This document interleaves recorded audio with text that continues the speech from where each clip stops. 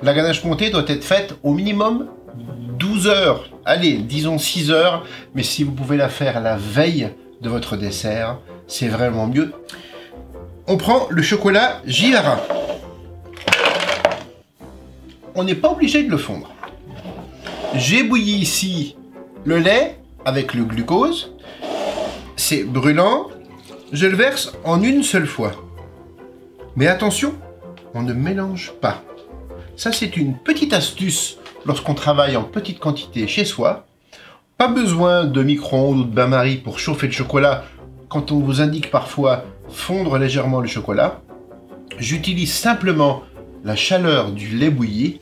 Maintenant, je retire l'excédent du lait en en gardant vraiment, regardez dans mon, regardez dans mon petit brouillon plastique, je ne garde vraiment que le minimum pour démarrer l'émulsion. Ça veut dire commencer à obtenir un noyau élastique et brillant petit à petit grâce aux ajouts de lait. On prend un mixeur. Au fouet à la marise, on fait une belle émulsion. Mais feriez-vous une belle mayonnaise avec une marise? Non. Donc ce mixeur, il permet tout simplement de faire une émulsion parfaite. C'est ce qu'on appelle tout simplement un mixeur plongeant.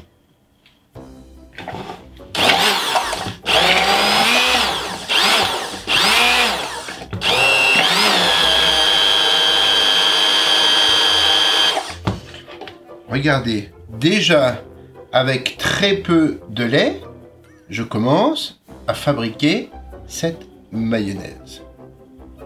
J'ajoute un second ajout.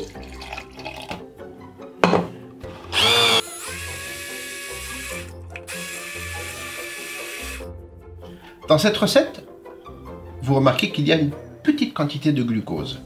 C'est pas complètement indispensable, mais avec le glucose, la texture sera plus filante, un peu plus élastique. C'est pas obligatoire, mais avec, c'est mieux.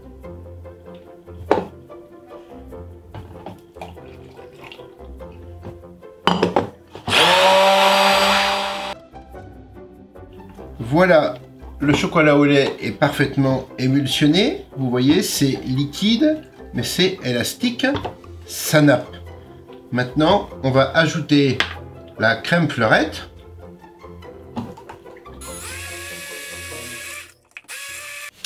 Et voilà Maintenant, la ganache montée est terminée. Il ne reste plus qu'à la cristalliser 6 heures, 12 heures, idéalement une bonne nuit.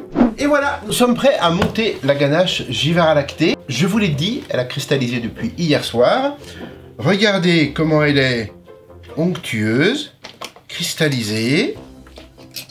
On va la monter soit au batteur, soit à la main, jusqu'à ce qu'elle obtienne une texture de glace à l'italienne. Voilà, elle est montée. La ganache, on parle de texture de glace à l'italienne. Et eh bien voilà, elle est toute délicate, elle est toute onctueuse. Elle est montée